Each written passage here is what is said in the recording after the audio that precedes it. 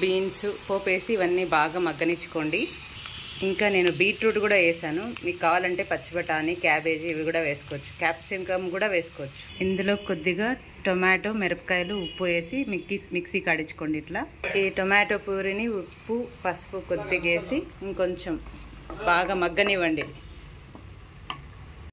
కొద్దిగా వెల్లుల్లిని దంచి వేసుకోండి. అప్పుడు టేస్ట్ బాగుంటుంది. నెక్స్ట్ మ్యాగీ మసాలా కొద్దిగా శనగపిండి. మీ దగ్గర కార్న్ఫ్లోర్ ఉంటే కూడా వేసుకొని బాగా వాటర్లో కలిపి ఒక గ్లాస్ వాటర్ పోసి ఉడికించుకోండి.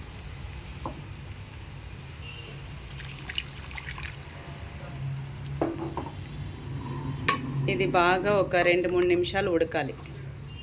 కొద్దిగా గట్టి పడాలి ఈ స్టేజ్లోనే ఉప్పు సరి చూసుకోండి. టేస్ట్ అయితే అదిరిపోయింది.